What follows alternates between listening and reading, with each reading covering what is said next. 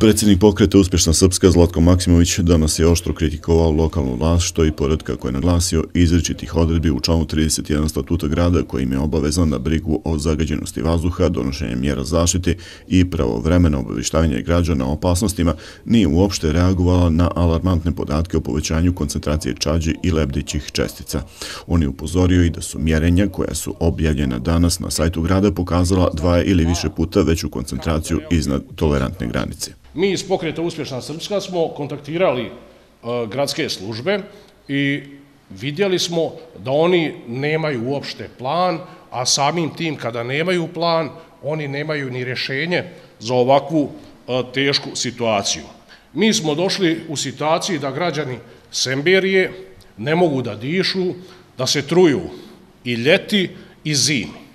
Kada kažem i ljeti i zimi, ljeti zbog nazovite ove gradske deponije, zbog svih onih neprijatnih mirisa koji dolaze od gradske deponije, a zimi zbog ovako zagađenog vazduha. Gradska vlast trenutno pokazuje potpunu nebrigu i nesavisnost u radu koji ugrožavaju ne samo zdravlje djece, trudnica, starijih i oboljelih osoba, nego i živote građana, smatra Maksimović. Kao ljekar ističe da čađ i lebliće čestice predstavljaju okidač za niz ozbiljnih poremećaja disajnog i kardiovaskularnog sistema. Pojavu okidač za bronhitis, za pneumoniju, za druga respiratorna oboljenja, a isto tako je rizik za pojavu karcinoma pluća.